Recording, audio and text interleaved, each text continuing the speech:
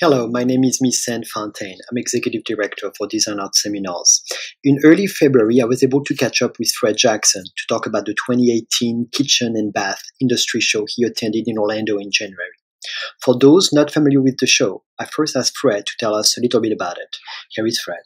And this show is primarily products that focus on uh, kitchen and bath, remodeling, new construction, uh, it covers appliances, it covers plumbing fixtures, it covers fix finishes, and it covers uh, uh, a lot of facets of the segment, subsegment of construction that goes commercial or residential for the kitchen and bath industry.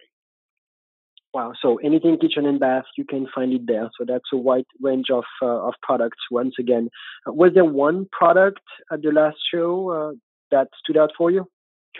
This show is always, to me, a feast for the eyes because it, it tends to be where I learn the most about design because the um, the booths are the best of most shows that I, I go to because they consistently outdo each other uh, for new products across the globe in the kitchen and bath. And this segment is where I learn the most about marketing trends and color tips, uh, more so than many other shows. And so uh, in this, uh, I, I saw a couple of features that are beginning to impact us. First of all, European companies are uh, definitely in the appliance part and definitely in the upper end appliances seem to be uh, coming over here more and more, and that of course gives us more the consumer more choices. So that that's a big picture thing.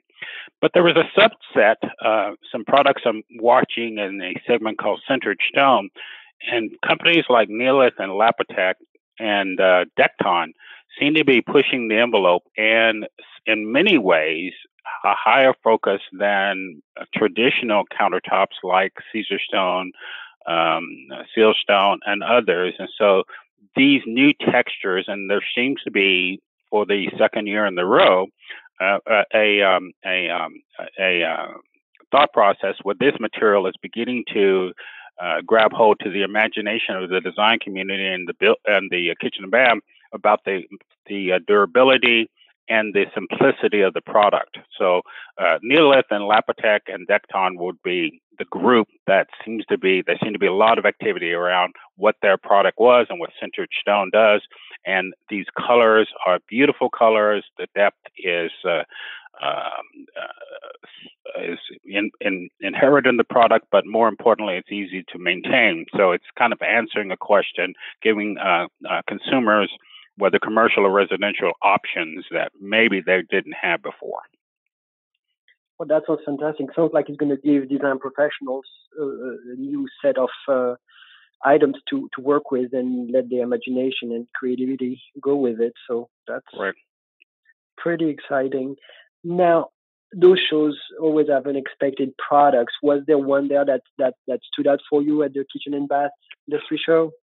Uh, you know, the uh, the booths uh, Delta and Kohler seem to always be a hub of, of, activity. But what was interesting is to seeing that uh, once again uh, the the the uh, bathroom plumbing fixtures.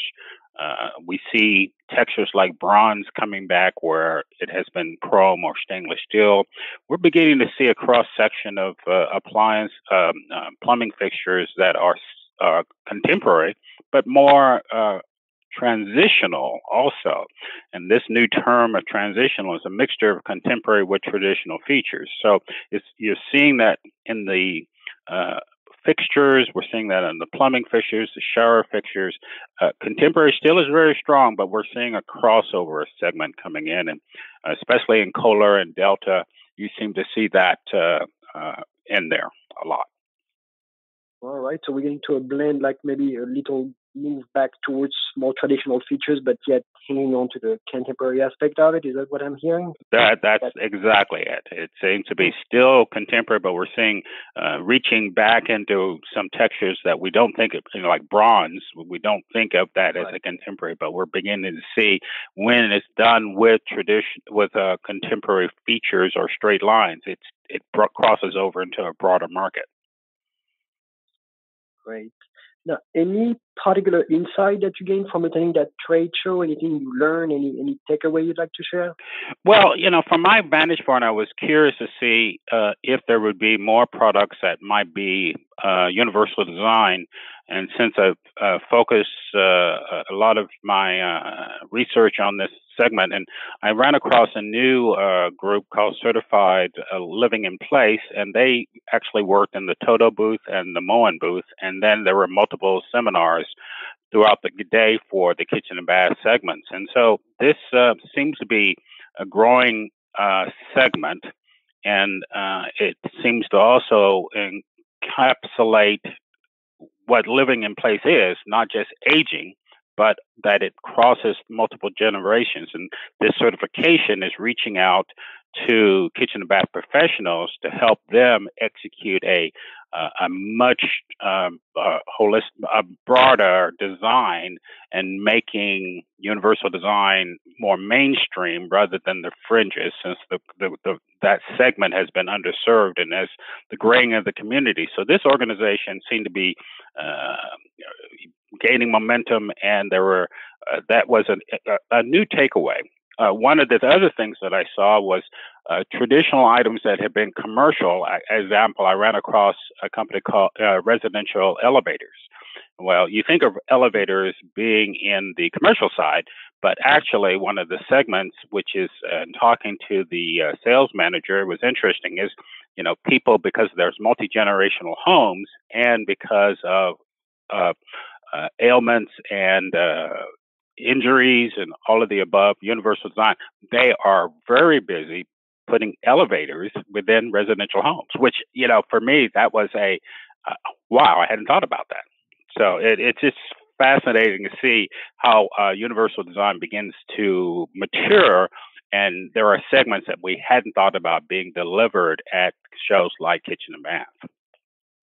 Right, and that tells you quite a bit also, I think, about um, how much more focus that we're going to have to have on the aesthetic of those solutions because at least in my experience when you looked at barrier free design solutions or universal design solutions they were usually not the most attractive. So having those features become more mainstream will definitely probably force the manufacturers to do a better job of making those solutions look a lot more um, enticing. Is, is that something that you saw there? Or oh, definitely or, saw that, and it was definitely interesting that in each one of the booths, especially the focus booth, they all had a segment or, or a display showing more universal design and how it bridges into the, the built environment and how it should be a part of our thought process. So it's not, you know, a secondary thing. It is definitely now becoming more a a movement toward this. Yeah, that's fantastic because definitely all of us can benefit from those features at, at some point in our lives. That's that's definitely very true. Now, what advice would would you give someone attending KB for the first time?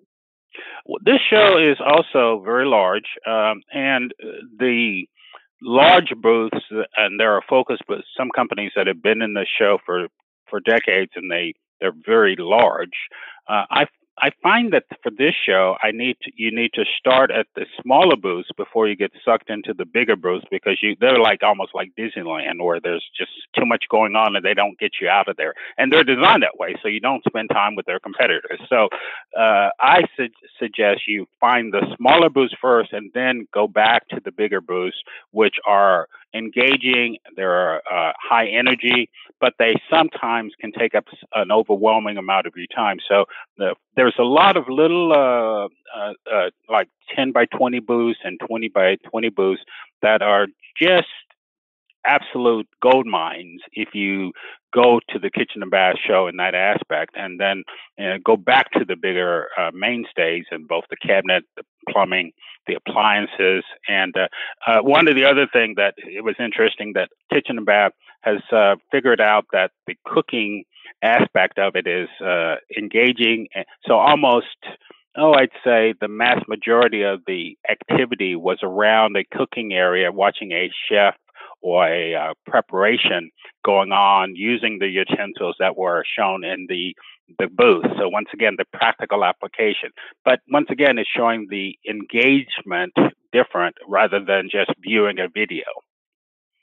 Yeah, that's that's great. I mean, you know, cooking demonstrations always always attract crowds, so that's yep. that's a great way for them to do that. Um, now, finally, if, if somebody uh, listening to this uh, wants to reach out to you about the work you do, about any questions related to Talent Stone, uh, what's the best way for them to do that?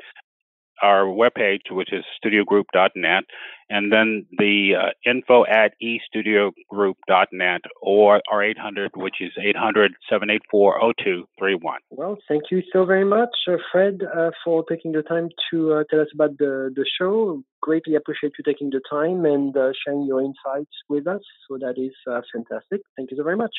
Thank you.